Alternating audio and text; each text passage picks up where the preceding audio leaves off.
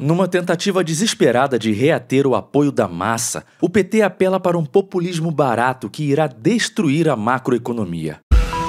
Esta é a Visão Libertária, sua fonte de informações descentralizadas e distribuídas. Ajude a propagar as ideias de liberdade. Deixe o seu like e compartilhe com seus amigos. Um artigo seu pode virar vídeo aqui também, sabia? Esse artigo foi sugerido por Ian Curtis, votava na Margaret Thatcher, escrito por Soire Rebelde, revisado e narrado por Lea Farr. Após semanas de expectativa, desde outubro, quando começou a rolar esse papo de que o governo estaria preparando um pacote de corte de gastos para acalmar o mercado, o sinistro da Fazenda, Fernando Haddad, vulgo Tachad, anunciou as medidas na noite desta quarta-feira, dia 27 de novembro, em um pronunciamento em rede nacional. Durante o dia, o dólar atingiu valores acima de 5,90 enquanto a bolsa caiu 1,73%, indo abaixo dos 127 mil pontos em sua mínima diária. Os movimentos estavam prevendo o impacto fiscal das ações desesperadas do PT que seriam anunciadas. Durante o discurso, o sinistro Maldade afirmou que a economia prevista será concretizada ao longo de dois anos, tentando apaziguar as inquietações do mercado. Mas de nada adiantou a retórica do Tachad. A combinação entre o aumento da faixa de isenção do imposto de renda, com um custo anual estimado em 45 bilhões, e as promessas vazias de cortes de gastos no valor de 70 bilhões gerou receio sobre o equilíbrio das contas públicas no médio e longo prazo. E o dólar bateu R$ 6,00 enquanto que a bolsa iniciou o dia em queda, tudo isso no dia seguinte. Embora não haja confirmação oficial, essas ações sugerem um alinhamento estratégico do Partido da Tragédia, o PT, na direção de dar um tiro no escuro com risco controlado. A estratégia foi simples de perceber. Maldade enfatizou as ações do atual governo e teceu críticas ao passado, elementos que remetem a um discurso voltado para a construção de uma narrativa eleitoral essa movimentação parece indicar que ele pode ser preparado como a principal alternativa do PT caso Lula não dispute o pleito. No entanto, esse posicionamento envolve alguns riscos controlados. Tachad está diretamente associado às políticas econômicas do governo. E caso o pacote fiscal fracasse em estabilizar a economia, as consequências podem ser desastrosas para sua imagem.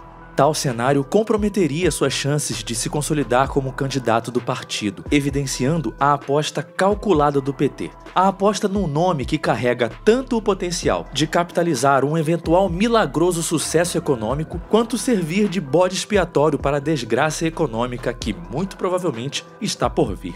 O plano é ambicioso: buscar equilibrar as contas públicas sem negligenciar a necessidade de justiça social que o PT tanto adora usar como narrativa populista. No entanto, Cada pilar da estratégia anunciada carrega desafios políticos e técnicos que podem definir o sucesso ou o fracasso da estratégia do sinistro da Fazenda. O primeiro pilar, os cortes de gastos, é talvez o mais polêmico. Entre as medidas propostas está a elevação da idade mínima para a aposentadoria de militares e a eliminação de privilégios como pensões para filhas de oficiais. Apesar do potencial de economia, essas mudanças enfrentarão uma resistência feroz, tanto no campo político quanto no jurídico, dada a força das corporações militares e a possibilidade de questionamentos sobre direitos adquiridos. Outro foco são os chamados supersalários, e benefícios no funcionalismo público, uma pauta com grande apelo popular, mas cuja implementação esbarra em entraves legais e no histórico de decisões judiciais favoráveis aos servidores. Por fim, o controle sobre o crescimento das emendas parlamentares, limitando-o a um patamar inferior ao da arrecadação.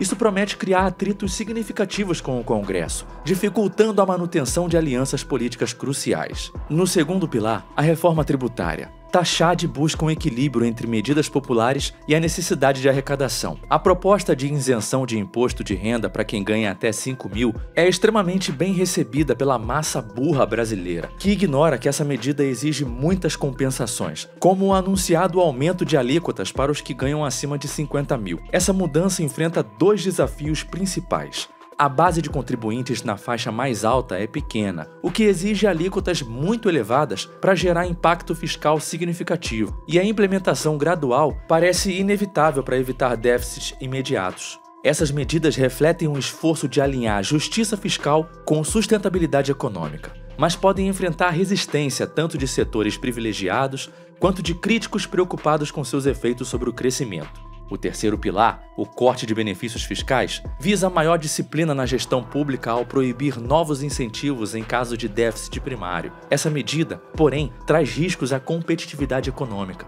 especialmente em regiões menos desenvolvidas, que dependem desses benefícios para atrair investimentos. O impacto pode ser particularmente severo em setores estratégicos, como a indústria, que já sofre com altos custos de produção e uma carga tributária complexa há mais de 40 anos além de ser um setor que só diminui a cada década. Essa estratégia vai comprometer o crescimento a médio e longo prazo, gerando dilemas políticos e econômicos para o governo. Agora cá para nós, conhecendo o histórico do PT, acreditar que esse partido de orientação socialista e coletivista, cuja trajetória está marcada pela expansão do Estado e pela criação de uma máquina pública inchada, vá realmente implementar cortes estruturais, é tão plausível quanto acreditar no coelhinho da Páscoa e no Papai Noel. A retórica de austeridade econômica frequentemente dá lugar a práticas que priorizam o aumento da arrecadação e o fortalecimento do controle estatal, em vez de promover uma real redução do tamanho e da influência do governo na vida dos indivíduos e no mercado. O pacote fiscal do Maldade tem implicações econômicas e políticas profundas, principalmente pela ênfase em aumentar a arrecadação mais do que em cortes reais. Essa abordagem sugere, apesar do discurso de ajuste fiscal, que o governo depende fortemente da ampliação de receitas por meio de novos impostos e aumento de alíquotas. Isso pode gerar um efeito cascata na economia, reduzindo o poder de compra e impactando o crescimento, especialmente se as medidas forem percebidas como um ônus excessivo sobre a classe média e setores produtivos. Além disso, a promessa de isenção de imposto de renda até 5 mil, embora popular, pode gerar frustração caso seja acompanhada por tributações mais severas em outras faixas de renda. No plano político, o pacote enfrenta resistência significativa no Congresso, onde há relutância em ceder maior poder de decisão ao Executivo. Medidas como o controle de emendas parlamentares e o aumento de impostos para determinadas faixas salariais podem gerar atritos com aliados estratégicos, comprometendo ainda mais a governabilidade do Lula, que já está uma porcaria.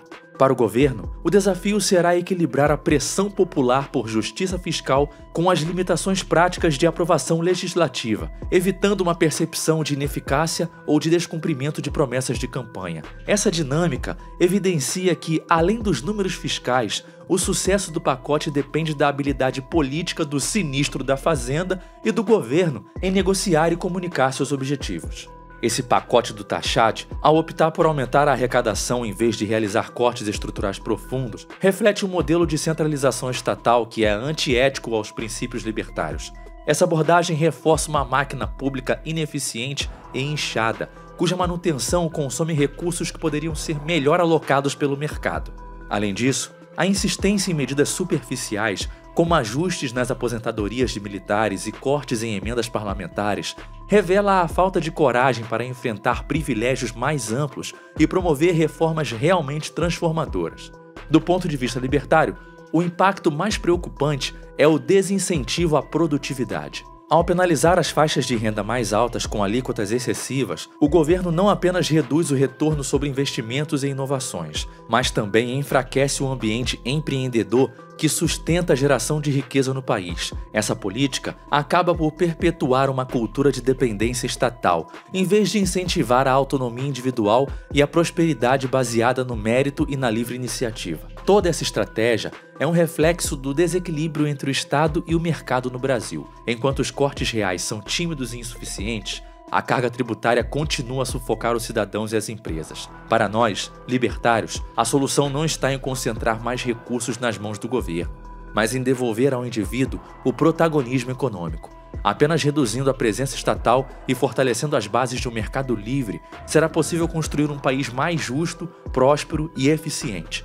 Ludwig von Mises, em As Seis Lições, delineou os fundamentos indispensáveis para uma economia saudável e resiliente, enfatizando que a liberdade econômica é a base para a prosperidade das nações. Ele destacou a importância da propriedade privada, do livre mercado e da limitação do poder estatal como pilares que garantem o desenvolvimento sustentável e a eficiência na alocação de recursos. Segundo Mises, uma economia robusta depende da interação voluntária entre indivíduos, onde o sistema de preços reflete as reais necessidades e desejos da sociedade, permitindo que os recursos sejam direcionados de maneira produtiva. As estratégias do governo Lula e do PT para conquistar apoio popular por meio de medidas populistas estão construindo uma bomba relógio fiscal que inevitavelmente explodirá. Quando a conta chegar, e ela sempre chega, o cenário será de inflação descontrolada, desemprego em alta e a queda absurda do poder de compra.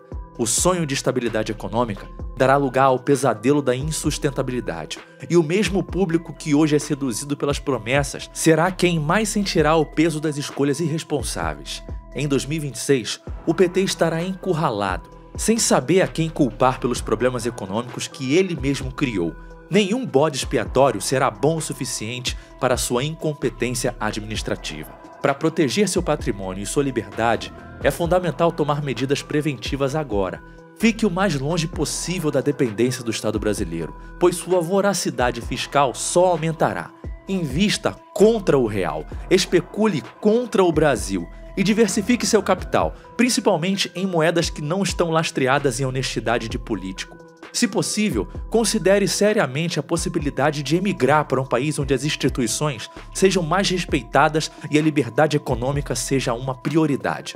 O Brasil está entrando em uma rota de colisão e os sinais de deterioração são claros. Não espere até que seja tarde demais para agir.